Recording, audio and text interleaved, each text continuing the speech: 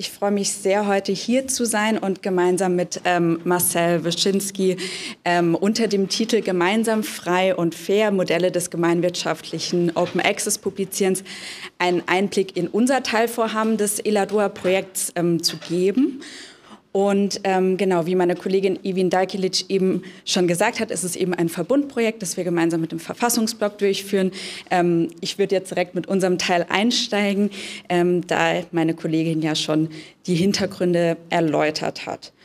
Genau, ähm, wir sind im Oktober 2023 mit dem Projekt gestartet und die Idee ist es ja in einem offenen Prozess sozusagen ein gemeinwirtschaftliches Diamond Open Access Publikationsmodell zu entwickeln. Und ähm, eine Vorstufe sozusagen oder eine Vorarbeit dessen ähm, bildet unser Bericht zu gemeinschaftlichen Publikationsmodellen. Also wir befinden uns jetzt gerade hier. Ähm, was wir heute jetzt nicht machen, ist ähm, eine Liste an Finanzierungsmodellen bereitzustellen. Die wird in unserem Bericht verfügbar sein, der im Anschluss und mit dem Feedback der Open Access Tage veröffentlicht wird. Ähm, genau. Und wir starten jetzt quasi, oder ich will heute einen Einblick geben in diesen Bericht. Der besteht einmal aus einer Literaturanalyse und aus Expertinneninterviews. Und der Ausgangspunkt ist eben, dass ähm, wir einen Bedarf an alternativen Strukturen für die Finanzierung und Organisation von Diamond OA Publikationen sehen. Das hat unter anderem das ähm, Projekt Scholarlet Plus gezeigt. Und der Bericht möchte da ansetzen und die beiden ähm, Leitfragen quasi beantworten. Einmal, was ist unter dem Begriff der äh, gemeinwirtschaftlichen Förderung zu verstehen und welche Modelle gibt es bereits oder sind im Aufbau begriffen. Genau einen ganz kurzen Einblick in die Literaturrecherche, wobei ich den Fokus gleich gerne auf die Interviews richten würde. Ähm, wir haben verschiedene Publikationstypen, Arten analysiert, die sich hier auf den, auf den Folien sehen, zum Beispiel Fachliteratur, Policy Paper, Stellungnahmen, Memoranden.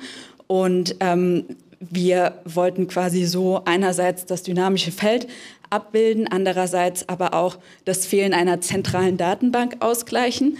Also wir haben quasi uns auf Datenbanken bezogen, existierende Datenbanken wie zum Beispiel COPIM, haben diese dann aber ergänzt und ähm, ja, ausgebaut. Genau, wir haben die äh, Literatur dahingehend begrenzt, dass wir keine lexikalischen Definitionen von Diamond OA erfassen wollten, sondern eben neue Publikationsmodelle oder Finanzierungsansätze. Genau. Ähm, wir haben dann quasi schlagwortbasiert sind wir vorgegangen und haben die ausgewählten Studien dann mit qualitativen Verfahren in einem Spreadsheet dargestellt und analysiert. Und dabei sind wir auf die Liste folgender Themen gestoßen, die eben ja, wiederholt in der Literatur vorkommen. Und das sind zum Beispiel Gemeinschaft, Kollektiv, Community, aber auch Ethik, Werte, Prinzipien, aber auch sowas wie zum Beispiel Wissenschaftspolitik. Genau. So viel erstmal zur Literatur.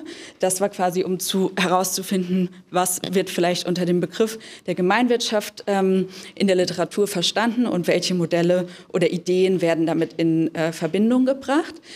Und als zweites haben wir eben Expertinneninterviews geführt. Das waren 17 Stück an der Zahl ähm, mit vorwiegend nationalen ähm, Expertinnen oder Personen, die wir als Open Access Professionals identifiziert haben. Ähm, dazu auch drei internationale Expertinnen. Und genau, wir haben semi-strukturierte Leitfadeninterviews geführt, ähm, genau im Zeitraum vom 28. Februar bis zum 15. April. Und ähm, diese Interviews sollten quasi die Literatur ergänzen und bisher unveröffentlichte Perspektiven ähm, darstellen oder auch marginalisierte Perspektiven. Und die Auswahl der Interviewpartner haben wir mit Hilfe der Methode der ähm, gezielten Stichprobe durchgeführt. Ähm, das haben wir gemacht, um quasi, oder die Methode erlaubt es besonders, ähm, informationsreiche Fälle zu identifizieren, die natürlich im Hinblick auf das Forschungsziel relevant sind. Und ähm, Natürlich ähm, beschränkt man so immer die Grundgesamtheit und limitiert die. Um aber die Nachvollziehbarkeit ähm, zu erhöhen und dem ein bisschen entgegenzuwirken, haben wir uns auf das ähm, Stakeholder-Mapping des Aurora-Projekts ähm, bezogen, haben das quasi als Ausgangspunkt genommen, um verschiedene Gruppen zu identifizieren und dann wiederum Personen, die wir interviewen wollten. Und ähm, genau, das sind, sind jetzt unsere Stakeholder.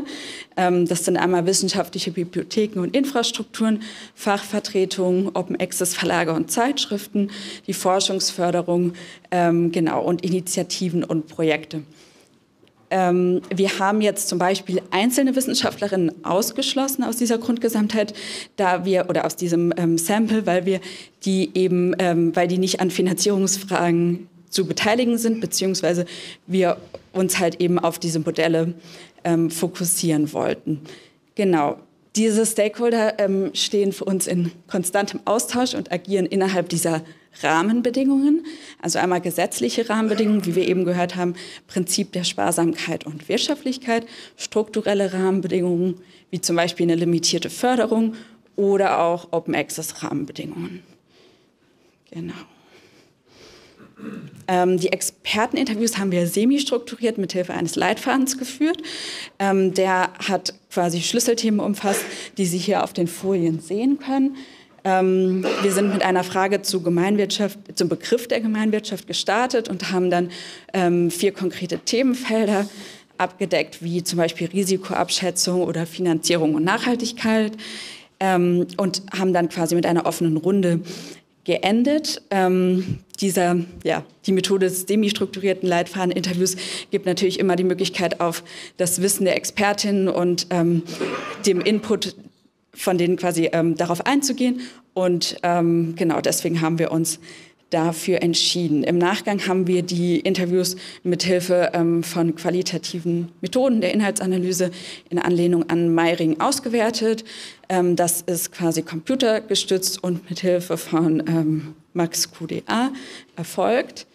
Ähm, ja, und jetzt möchte ich gerne noch erste Einblicke in diese Interviewstudie geben oder Beobachtungen mit Ihnen teilen. Ähm, das ist wichtig, dass es immer im Hinblick auf unser Forschungsinteresse zu verstehen ist, also gemeinschaftliche Modelle, gemeinschaftlich, gemeinwirtschaftliche Modelle. Und ähm, genau, im ersten Schritt wollten wir uns eben diesem Begriff der Gemeinwirtschaft empirisch nähern und haben die Expertinnen befragt, was sie darunter verstehen. Ähm, dabei haben wir festgestellt, dass es ein sehr unterschiedliches Verständnis gibt. Einige Expertinnen noch nicht von dem Begriff gehört haben. Andere fassen darunter etwas wie zum Beispiel auch nicht kommerziell oder Gemeinnützigkeit oder auch die Orientierung ähm, ja, am Commons-Begriff, der ja irgendwie diese ja, Orientierung am äh, Gemeinwohl beinhaltet. Und ähm, andere haben aber auch kritisch angemerkt, ähm, dass ja, oder die Frage gestellt, brauchen wir jetzt einen neuen Begriff? Gibt es nicht genug Begriffsdiskurse? Ähm, hindert das nicht vielleicht die weitere Etablierung von Diamond OA? Und ähm, andere Expertinnen haben betont, dass der Begriff weiter ausdifferenziert werden muss.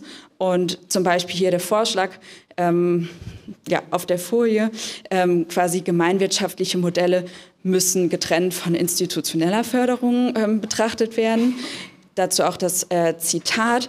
Ich würde vorschlagen, dass man versucht, mit der Gemeinwirtschaft das zu bezeichnen, was also jetzt rein fiskalisch betrachtet zur freien Wirtschaft, zur Privatwirtschaft gehört und davon abgrenzt, das, was das Institutionelle ist, auch wenn man das jetzt kulturell betrachtet, beides unter Gemeinwirtschaft fahren kann, aber fiskalisch sind das einfach echt unterschiedliche Sachen.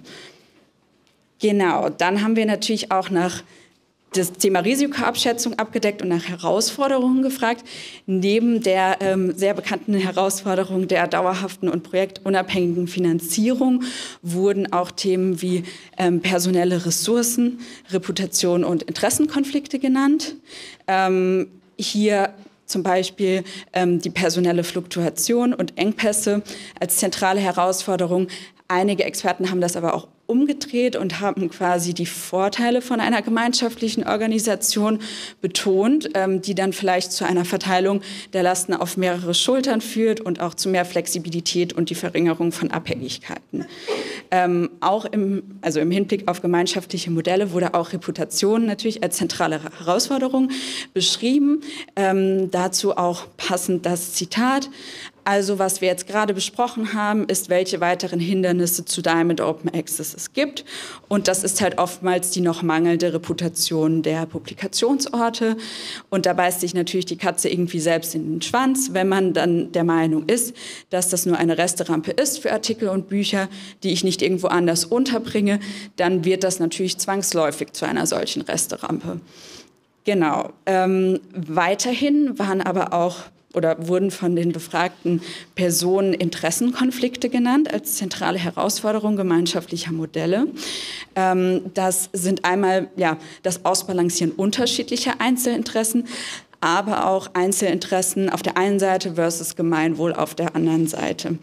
Ähm, einige Expertinnen haben aber auch betont, dass die tatsächlichen Konflikte nicht unbedingt ähm, zwischen den einzelnen Stakeholdern der Diamond Open Access Community ähm, entstehen, sondern zwischen kommerziellen Verlagen auf der einen Seite und eben Diamond OA Stakeholdern auf der anderen Seite. Genau. Ähm, interessant ist, dass bei allen Herausforderungen die Expertinnen auch immer konkrete Lösungsansätze mit gedacht haben. Einige sind vielleicht offensichtlich oder wiederkehrend, wie zum Beispiel eine Stärkung der Transparenz, aber auch die Frage, wer trägt eigentlich die Verantwortung, ähm, die Erhöhung von Markenbildung, Sichtbarkeit und Reputation ähm, oder auch geteilte Infrastrukturen. Aber es wurden eben auch ähm, konkrete Lösungsvorschläge sozusagen gemacht und zum Beispiel die Idee skizziert, Publish for Free als förderfähiges Produkt zu begreifen oder äh, missionsgetriebenes Open Access zu praktizieren. Ähm, eine weitere Idee war zum Beispiel einen festen Prozentsatz festzuschreiben, der nicht nur eben in ähm, Open Access geht, sondern der nochmal explizit in die Förderung gemeinschaftlicher, fairer Diamond Open Access Modelle geht. Ähm, genau, dazu bräuchte man natürlich eine, eine tragfähige Definition von dem, was denn unter gemeinschaftlich oder gemeinwirtschaftlich zu verstehen ist. Weiterhin wurde aber auch darauf hingewiesen, ja, sozusagen Erwartungsmanagement zu betreiben und ähm, sich genau anzuschauen, wie soll die Transformation aussehen, wie umfassend soll diese aussehen. Dazu auch das Zitat auf den Folien. Aber ich glaube, es braucht eben auch ein bisschen das Nachdenken darüber, wo wollen wir eigentlich hin, wie, wie realistisch ist ein 100%-Ziel als Standard für alle Disziplinen oder wollen wir das Brötchen kleiner machen, aber dafür eine sehr starke Open-Access-Landschaft haben. Aber wie gesagt, ohne Finanzierung werden selbst die kleinen Brötchen schwierig zu backen. Genau, ich würde jetzt noch einmal ähm, ja, erste Zwischenergebnisse vorstellen. Also das, was jetzt, was wir aus der Literatur, aber auch in den Interviews gesehen haben, ist eben, dass ähm, ja, die Bedeutung von Kooperation und Gemeinwohlorientierung in der Community des wirtschaftlichen Publizierens oder des wissenschaftlichen Publizierens, nicht wirtschaftlichen, ähm, ja, fest verankert ist. Der Gemeinwirtschaftsbegriff ähm, benötigt noch weiterer Definitionsarbeit. Es gibt Kommunikationsschwierigkeiten zwischen den unterschiedlichen Gruppen. Ähm, es ist aber auch interessant, dass so eine gemeinschaftliche Organisation eben laut der ex befragten Expertin womöglich Risiken abfedern können.